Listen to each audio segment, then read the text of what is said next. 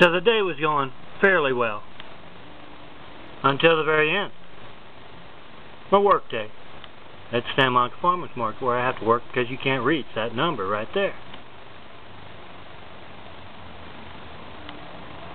And then a man threatened me. And a whole lot of folks made mistakes. And when I got to peek over and paw, I felt moved to make a video. As I made that video talking about how a lot of folks had made serious mistakes that would affect them the rest of their lives, it was like the angels tapped me on my shoulder, told me to look around, and there were these two young ladies kissing, putting a little beauty into this world. So I continued to make the video, and I watched the young ladies put the beauty into the world. I can multitask.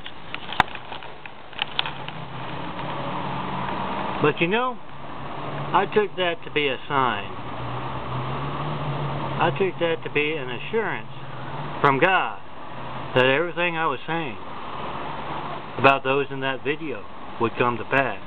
Everything I was saying about those who are working to put ugliness in this world. And it's not just about censoring and isolating me. I felt assured from God that everything I said in that video would come to pass. I'm John Melton Brady. Come see me in person. Break through the wall that is surrounding me. Let's be a part of positive change here in LA and worldwide.